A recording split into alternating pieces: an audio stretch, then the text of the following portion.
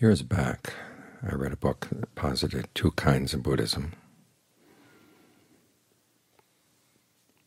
One was called the Buddhism that was aimed at merit, and the other was the Buddhism that was aimed at nirvana. And the author presented them as two very different kinds of Buddhism.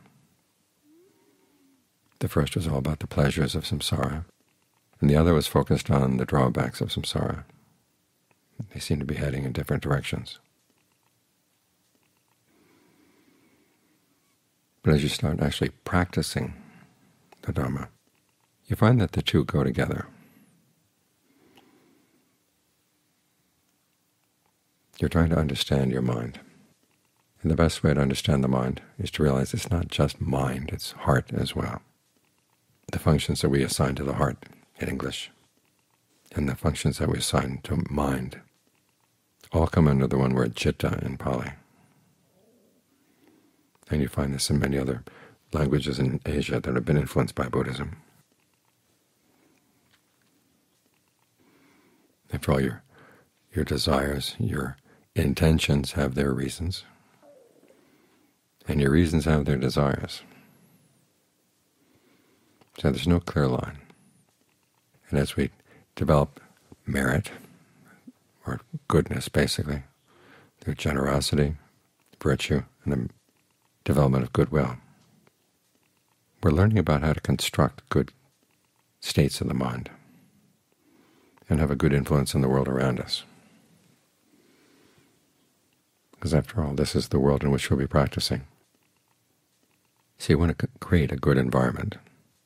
And at the same time, if you're going to be watching your mind, which is what you have to do in order to get beyond the constructs of the mind, it's easiest to watch when you're doing good things, you're developing good habits in the mind. Years back I was leading a retreat, or co-teaching a retreat, and one day in the middle of the afternoon one of the retreatants started sobbing intensely. Nobody else in the room seemed to be not paying any attention. I found it very strange. But I was told later that this was a common occurrence in what you might call walk-in meditation retreats, where people come in off the street, no background in the precepts, no background in generosity. And they start looking at their minds, and they don't like what they see. This particular person had been a drug dealer, and, and at that point we found out later it suddenly hit him how many lives he had destroyed by selling drugs to people. And so when something like that opens up, there's a part of the mind that wants to close it back up as quickly as possible because it's so painful.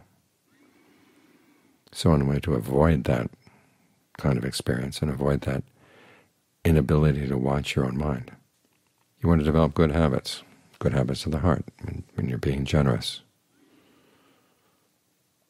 When you hold to the precepts, you realize that you're not harming anybody. You're actually helping others.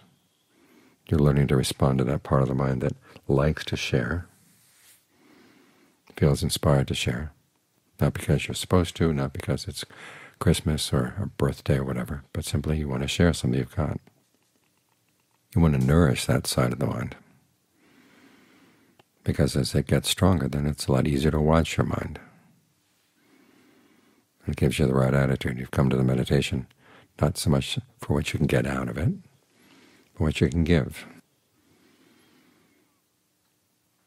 This is why here at the monastery we don't have too many assigned jobs. This giving is supposed to be voluntary.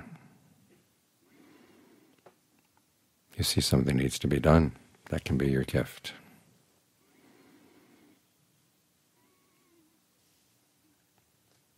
And you begin to realize how you create good states of mind. This is especially true when you're developing thoughts of goodwill. You have to learn how to talk to yourself in ways that make you want to extend goodwill to people you don't like, or people you feel have been really behaving in horrible ways. Yet you have to have goodwill for them. So you have to talk to yourself in terms of the principle of karma, saying that if you have ill will for people like that, and it's so easy to have ill will for them, you can't trust yourself around them. And if you want to have some influence over them, but if you have ill will for them, they're going to sense that ill will. They're not going to want to respond.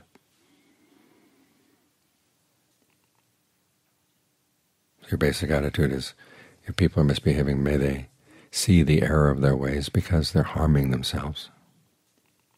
May they be willing and able to change. And so when you're thinking about trying to influence them so that they will change, you want to do it with an attitude of goodwill.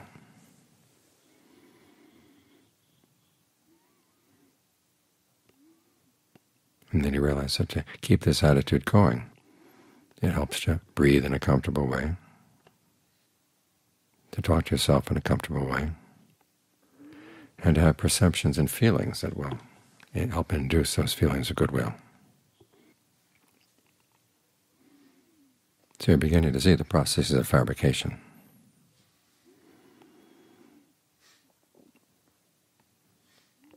Then you get more into developing the meditation, working with the breath, trying to get states of concentration, develop states of tranquility that can allow you to give rise to insight. You want to focus on the positive nature of concentration first. That is a restful place for the mind. I mean, you can sit around and think thoughts of goodwill all day, and some people can get into strong concentration that way. Other people find the thinking a disturbance. It's better just to be very still. And you can do that with the breath. In the beginning, of course, you have to talk to yourself about the breath. What kind of breathing feels good? How about long breathing? We'll try it for a while. How about short breathing? Try it for a while. See what feels better. And when there's a sense of well-being, think of it spreading through the body. Here the operative word is allow. Allow those comfortable sensations to spread. Don't force them through. As I said this afternoon, it's like going to an area where the roads have been blocked. So you remove the blockages. As for the traffic that's going to travel along the road, you don't have to push the cars around. The people want to use the road, they'll use it. When things are relaxed in the body, the breath will flow. The sense of ease will flow. Here again, you see the processes of fabrication. You become more and more of a connoisseur of what really feels good inside, and how you should relate to the breath energies inside, how you learn how to recognize them to begin with. They're there all the time. Simply that most of us haven't learned how to recognize them as such. When you realize your whole sense of feeling in the body depends on the flow of energy, you begin to get more and more sensitive to how it feels, even in unlikely parts of the body.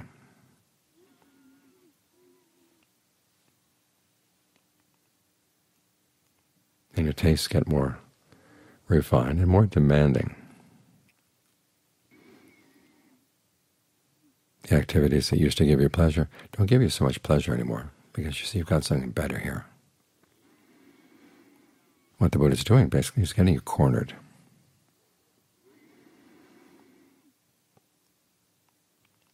Because your sensitivities get greater and greater, you begin to realize that even things that are fabricated no matter how well you fabricate them, are going to fall apart.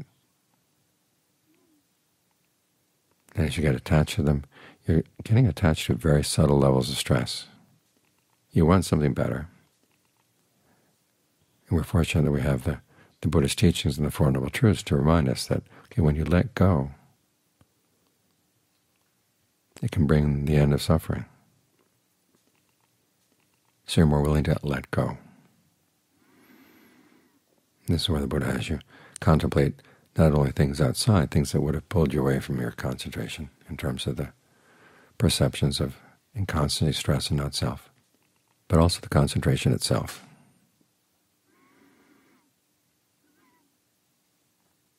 You can think of the five brethren when they listened to that sermon that we chanted last night. They already gained some measure of concentration. Now they're asked to look at even that state, as refined as it was. See, it too had its drawbacks.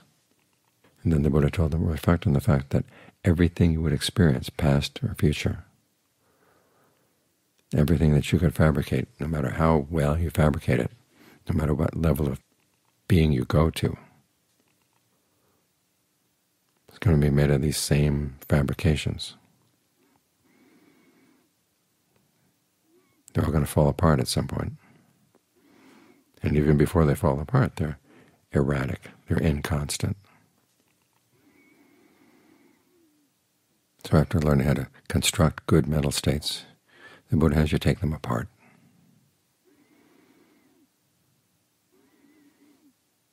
To the point where you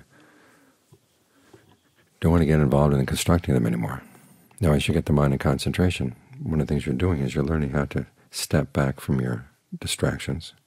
You have to understand them, too, in terms of the process of fabrication. So you're learning how to disidentify with a lot of things as you practice as you hold on to the path. Finally, though, you learn how to disidentify with the path itself, even with the discernment that leads you there. This is why when the Buddha has that teaching on all fabrications being inconstant, all fabrications being stressful, he doesn't end up by saying, well, all fabrications are not self. He says all dhammas are not self. Even the dhamma of seeing this, the Dhamma would be the discernment of seeing the drawbacks of these things. That too is something you have to let go. Ajaan Maha images of climbing a stairway up to a house. You climb the stairway that is composed of developing skillful senses of a, of a self, and then also learning how to use not-self. But as long as you stay on the stairway, you're never in the house. When you get into the house, you don't carry the stairway in with you. You leave it there. That's when you're really free. So all along you've been training both the heart and the mind, learning how to construct good states of mind, good states of heart. Because the things you know best are the things you do. And as you get better and better at this process of construction, you understand how constructed it is. You understand its potentials, but you also understand its drawbacks.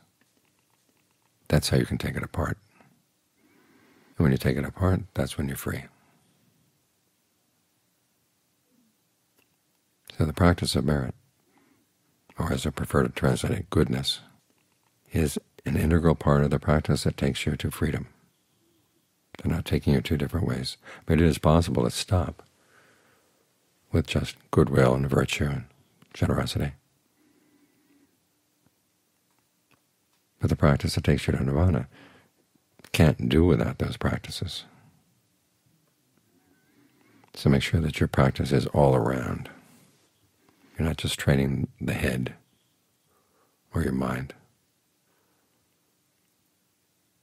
You're training the whole head-mind complex. And when the whole thing is well trained, then the whole thing can again release.